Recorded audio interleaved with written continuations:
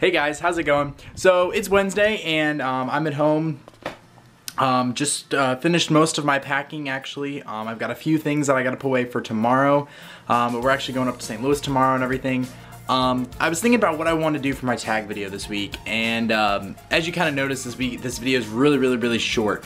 What I'm gonna do is I'm actually gonna post a uh, update on probably Sunday um, night. I'm gonna post an update of check-in. And so basically I'm just gonna do a live vlog of me checking into my dorm and stuff like that and the process of me going down there and everything like that.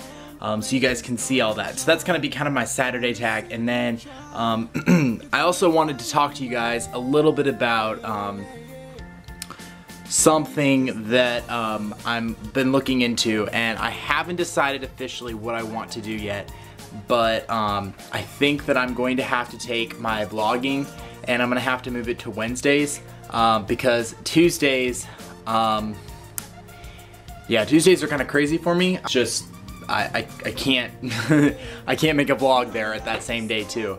Um, so I just got a lot of classes that day and I need to focus more on academics that day. So um, I'll either be releasing a vlog on Wednesday or Thursday or something like that or you know maybe even Monday of like how my weekend went. Um, then I may move my tag videos up to Friday. I don't really know there's a lot of change on the horizons. Talked to my roommate last night and he seems pretty chill. So I think it's gonna be a good time. So um, hope to see you guys in my next video, which I hope to post on Sunday. Make sure you guys pay attention to my Facebook, Twitter, and Instagram. Links are in the description below. See ya. Bye.